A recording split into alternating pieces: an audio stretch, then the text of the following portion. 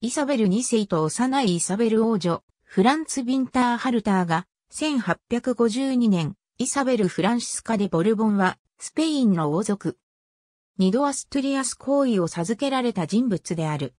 女王イサベル2世と王配、フランシスコ・デ・アシスの第一子として、マドリード王宮で生まれた。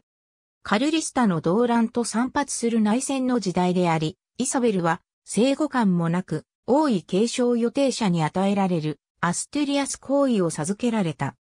1857年、弟アルフォンソが誕生すると、イサベルは王位継承順位第2位となり、アルフォンソがアストゥリアス公となった。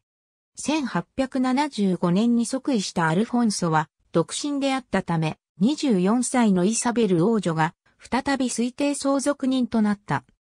二度目のアストゥリアス女公時代は、1880年にアルフォンソ12世の第一子マリア・デラス・メルセデスが誕生したことで終わった。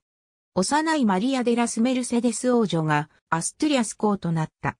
1868年、イサベルは両シチリア王家のジルジェンティ伯ガエターノと結婚した。ガエターノはイサベルの両親といとこ同士であった。彼は精神不安定の症状を抱えており、1871年にルツェルンで自殺した。イサベルは国民に非常に人気があり、尊敬されていたと伝えられている。